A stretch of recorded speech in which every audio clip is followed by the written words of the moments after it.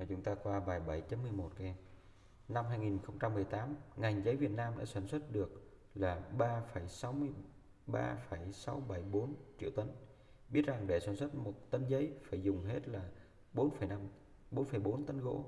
Em hãy tính xem năm 2018 Việt Nam đã phải dùng bao nhiêu tấn gỗ cho sản xuất giấy. Vậy thì đầu tiên chúng ta phải tóm tắt cái đề bài này. Bây giờ à, là năm 2018 á, thì chúng ta là sản xuất là bao nhiêu? Đây là năm 2010 18 chúng ta sản xuất là 3,674 triệu tấn. Yeah, tấn giấy. Biết rằng để sản xuất một tấn giấy à, đây là một tấn giấy này một tấn giấy. Một tấn giấy phải dùng hết là 4,4 tấn gỗ. À, một tấn giấy phải dùng là 4,4 tấn tấn gỗ.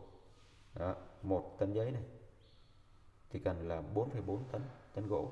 Hỏi là 3,674 triệu tấn giấy thì cần bao nhiêu tấn tấn gỗ?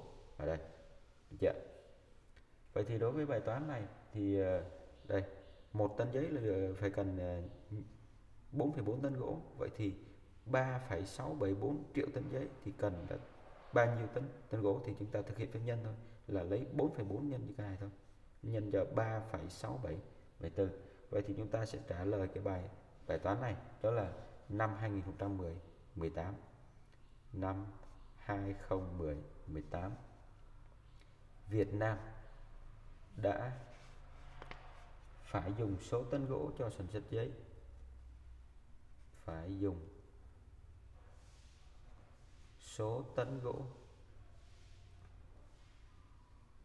cho sản xuất giấy.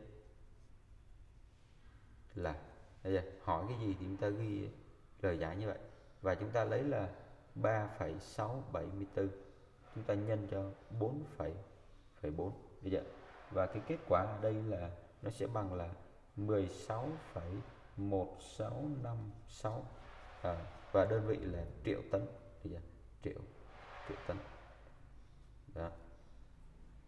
Và thì kết quả cái bài này như vậy. Bây giờ các em nhớ đăng ký kênh để xem tiếp các video tiếp tiếp theo. Chào các em.